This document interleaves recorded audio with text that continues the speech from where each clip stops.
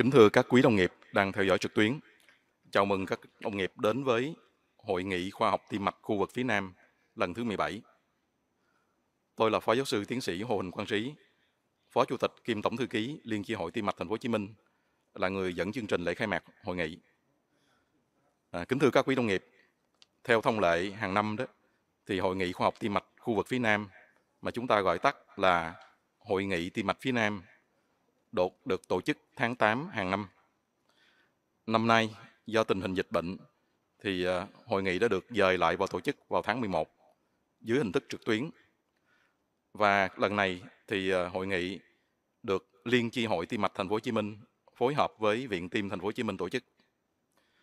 Tôi xin phép giới thiệu thành phần tham dự lễ khai mạc hôm nay. Giáo sư tiến sĩ Đặng Văn Phước, Chủ tịch Liên chi hội tim mạch Thành phố Hồ Chí Minh À, giáo sư Đặng Văn Phước cũng là chủ tịch Hội Tim mạch học Việt Nam và là trưởng khoa y Đại học Quốc gia Thành phố Hồ Chí Minh. Phó giáo sư tiến sĩ à, Phạm Nguyễn Vinh, Phó Chủ tịch Liên chi hội Tim mạch Thành phố Hồ Chí Minh. À, Phó giáo sư Phạm Nguyễn Vinh cũng là Phó Chủ tịch Hội Tim mạch học Việt Nam và là Giám đốc Trung tâm Tim mạch Bệnh viện Đa khoa Tâm Anh Thành phố Hồ Chí Minh. À, đang theo dõi trực tuyến à, xin Zoom là Phó giáo sư tiến sĩ Châu Ngọc Hoa, Phó Chủ tịch Liên chi hội tim mạch Thành phố Hồ Chí Minh.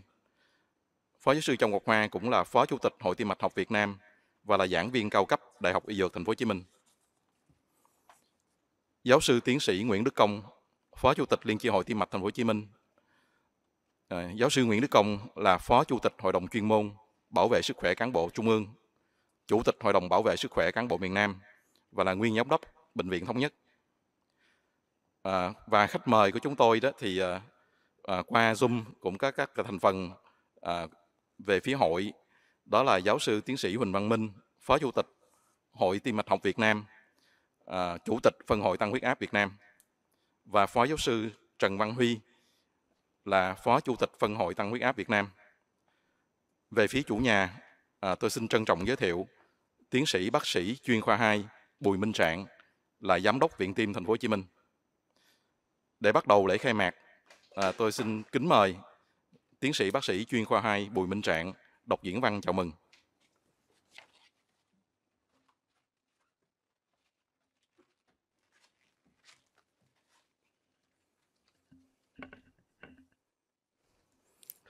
Kính thưa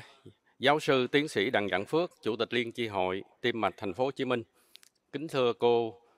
Phó giáo sư tiến sĩ Trong Ngọc Hoa, Phó Chủ tịch Liên chi hội Kính thưa Phó Giáo sư Tiến sĩ Phạm Nguyễn Vinh, Phó Chủ tịch Liên chi hội. Kính thưa Giáo sư Tiến sĩ Nguyễn Đức Công, Phó Chủ tịch Liên chi hội. Kính thưa Phó Giáo sư Tiến sĩ Hồ Quỳnh Quang Trí, Phó Chủ tịch kiêm Tổng Thư ký Liên chi hội. Kính thưa các vị khách quý, các thầy cô từ Hội Tim mạch Việt Nam. Kính thưa quý thầy cô trong Ban chấp hành Liên chi hội Tim mạch Thành phố Hồ Chí Minh. Kính thưa quý đồng nghiệp. Thay mặt cho Ban giám đốc và toàn thể nhân viên Viện Tim, Chúng tôi xin nhiệt liệt chào mừng quý lãnh đạo, quý thầy cô và quý đồng nghiệp tham dự Hội nghị khoa học tim mạch khu vực phía Nam lần thứ 17 năm 2021 do Liên chi hội tim mạch thành phố Hồ Chí Minh tổ chức với sự phối hợp của Viện Tim thành phố Hồ Chí Minh. Kính thưa quý thầy cô và quý đồng nghiệp, Viện Tim rất vinh dự được Liên chi hội tim mạch thành phố Hồ Chí Minh chọn làm đơn vị phối hợp tổ chức hội nghị khoa học tim mạch phía Nam Kính thưa hội nghị, Viện Tim được thành lập vào năm 1992, đặt nền móng phát triển chuyên khoa phẫu thuật tim và điều trị các bệnh lý tim mạch tiên tiến cho thành phố và và cả nước. Viện Tim hoạt động với tiêu chí không lợi nhuận, tự cân đối thu chi và giúp đỡ cho bệnh nhân nghèo. Đó là sự hợp tác chí tình của quan hệ Pháp Việt giữa người đứng đầu ngành y tế thành phố, lúc đó là cố giáo sư tiến sĩ Dương Quang Trung và giáo sư Alan Cật Băng Tre, nhà phẫu thuật tim nổi tiếng thế giới. Cho đến hiện nay, Viện Tim đã phẫu thuật cho hơn 35.000 bệnh nhân bị bệnh tim, thực hiện nông mạch vành và điều trị tim bẩm sinh bằng thông tim cho hơn 42.000 bệnh nhân, cũng như khám điều trị cho trên 4 triệu 200 lượt bệnh nhân tim mạch và chuyển giao phẫu thuật tim cũng như là thông tin can thiệp về kỹ thuật cho gần 20 bệnh viện trong cả nước Viện Tim được sự giúp đỡ của Hiệp hội Island Carpenter, các cấp chính quyền, các tổ chức từ thiện, các nhà hảo tâm. Hàng năm Viện Tim đã phẫu thuật miễn phí cho một cho nhiều bệnh nhân à, với mức miễn phí một phần hoặc là toàn phần. Kính thưa hội nghị, với xu hướng mô hình bệnh tật ngày nay trên thế giới cũng như Việt Nam, những bệnh không lây nhiễm có chiều hướng gia tăng, trong đó có các bệnh lý tim mạch, rối loạn chuyển hóa, tăng huyết áp ngày càng phổ biến. Đặc biệt là trong tình hình hiện nay khi đại dịch Covid xảy ra khắp nơi trên thế giới, trong đó có Việt Nam, đã làm trầm trọng thêm gánh nặng cho đội ngũ y bác sĩ trong việc chăm sóc sức khỏe cho người dân. Qua đại dịch, số bệnh nhân cần chăm sóc và điều trị tim mạch cũng tăng lên. Viện tim cũng như các bệnh viện bạn và những người làm việc trong ngành tim mạch rất phấn khởi và cảm ơn Liên chi hội đã tổ chức hội nghị khoa học về tim mạch. Đây là dịp để những người làm cùng ngành chia sẻ, trao đổi kinh nghiệm quý báu và cập nhật những kiến thức chuyên môn trong giai đoạn mới. Do tình hình dịch bệnh vẫn còn diễn biến phức tạp nên hội nghị phải tổ chức dưới hình thức online. Hội nghị sẽ đề cập đến rất nhiều khía cạnh trong lĩnh vực tim mạch. Chủ đề của các phiên họp cũng rất là đa dạng và đi sâu vào nhiều lĩnh vực khác nhau trong tim mạch học. Một lần nữa, Viện Tim Thành phố Hồ Chí Minh xin chào mừng hội nghị và cảm ơn Liên chi hội Tim mạch Thành phố Hồ Chí Minh đã tin tưởng phối hợp với Viện Tim để tổ chức hội nghị khoa học lần này. Kính chúc sức khỏe quý lãnh đạo, Liên chi hội, quý thầy cô, quý đồng nghiệp tham dự hội nghị. Kính chúc hội nghị thành công tốt đẹp. Xin trân trọng cảm ơn.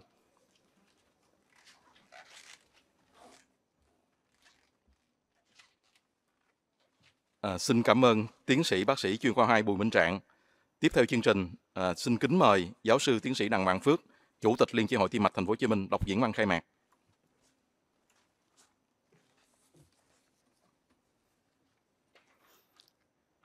Kính thưa các thầy trong ban chấp hành của Liên chi hội tim mạch Thành phố Hồ Chí Minh. Kính thưa tất cả các quý vị trong ban chấp hành Liên chi hội của ngoài Bắc, miền Trung và các cơ sở khác. Kính thưa tất cả các thầy cô, các quý vị đại biểu đã tham dự Hội nghị khoa học khu vực phía Nam lần thứ 17 2001. Lẽ ra thì hội nghị đã được tổ chức vào tháng 8 năm 2001. Nhưng do tình hình của bệnh dịch căng thẳng nên chúng tôi đã quyết định rời lại vào tháng 11 à, 2021, tức là hôm nay. Và hội nghị lần này do Liên chi hội tim mạch thành phố Hồ Chí Minh phối hợp với Viện Tim thành phố Hồ Chí Minh tổ chức theo hình thức trực tuyến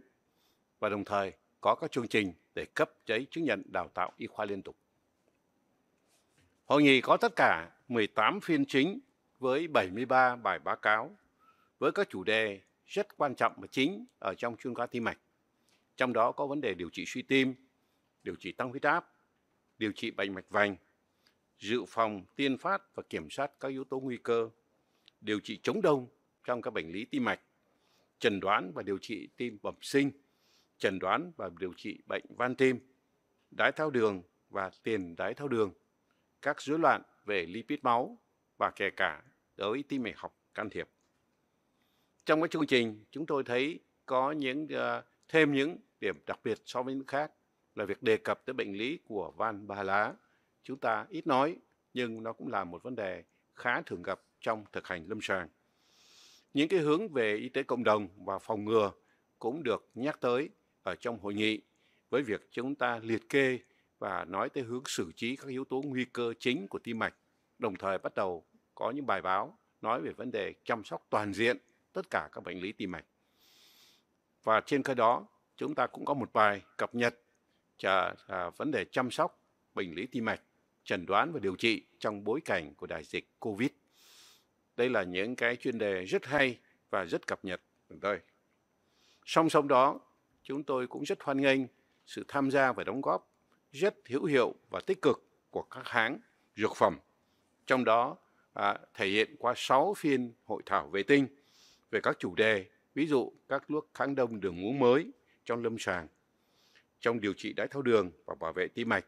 bởi các cái thuốc đồng vận GLP-1, một. Các liệu pháp chặn beta trong bệnh mạch vành, giá trị và các chỉ dấu xét nghiệm à, uh, NT-proBNP, vấn đề điều trị rối loạn lipid máu, cá thể hóa các cái thuốc kháng kết tập tiểu cầu sau điều trị can thiệp mạch vành và điều trị suy tim với xuân phất uh, phân xuất tống máu giảm. À, chúng ta tập hợp uh, trong hội nghị này thì 66 các chuyên gia uh, rất là quen thuộc, rất là nổi tiếng từ tất cả các bệnh viện, các bệnh viện lớn, các trung tâm tim mạch và kể cả các bệnh viện của tất cả các tỉnh ở phía Nam, ở thành phố Hồ Chí Minh và đồng thời có cả các tỉnh ở Hà Nội, Huế, Nha Trang cũng tham gia và chủ tọa các phiên báo cáo tại hội nghị. Chúng tôi cũng không thể nào không nhắc tới sự đóng góp rất nhiệt tình và tham gia tài trợ của các hãng dược phẩm. Trong đó thì à, tài trợ bạc là công ty Pfizer, à, tổ chức hội thảo vệ tinh chúng ta có công ty Bayer, Novo Nordisk, Merck, Roche Diagnostic, Novartis, AstraZeneca và đồng tài trợ thì có công ty Sanofi, Servier, Boehringer Ingelheim, Beatrice, Abbott, Menarini, Egid, Tedis, Otsuka và Stago. Một lần nữa, chúng tôi xin cảm ơn sự nhiệt tình của tất cả các quý vị đại biểu, tất cả các báo cáo viên, tất cả các cơ sở uh, uh, y tế, bệnh viện và các trung tâm cũng như các trường đại học uh, đã tham gia vô trong hội nghị khoa học tim mạch phía Nam lần thứ 17. Một cái hội nghị đã bắt đầu có dấu ấn và có truyền thống. Chúng ta cứ làm hai năm một lần à, và lần này là lần thứ 17. À, chúng tôi xin cảm ơn tất cả các công ty đã tài trợ à, cho hội nghị, đồng tài trợ và đồng tài trợ cho hội nghị. Cảm ơn tất cả à, cơ sở là Viện Tim, à, chỗ tiến sĩ bác sĩ Bùi Minh Trạng, một à, giám đốc mới à, đã phối hợp với Liên tri hội Tim mạch thành phố Hồ Chí Minh để tổ chức thực hiện buổi hội thảo hôm nay. Cảm ơn à, bộ phận à, à, kỹ thuật của à, Liên tri hội, của ban ban chấp hành Liên tri hội Tim mạch thành phố Hồ Chí Minh và không quên cảm ơn tất cả các bộ phận kỹ thuật à, đã chuẩn bị hết tất cả tài liệu, chuẩn bị tất cả mọi chuyện để cho hội nghị à, chúng ta hoàn toàn online à, sẽ diễn ra thành công. Một lần nữa, à, chúng tôi xin chúc mừng và xin cảm ơn cũng như xin chúc sức khỏe và sự an bình cũng như nhiều à, thuận lợi, thắng lợi trong công tác của từng à, đại biểu một. À, và xin trân trọng, trịnh trọng à, tuyên bố khai mạc Hội nghị khoa học tim mạch khu vực phía Nam lần thứ 17. Xin cảm ơn.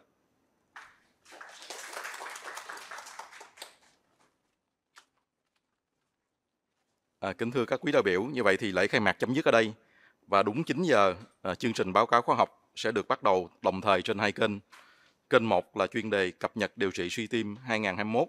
và kênh 2 là chuyên chuyên đề lựa chọn thuốc hợp lý trong điều trị tăng huyết áp. À, xin mời các quý đồng nghiệp đón xem.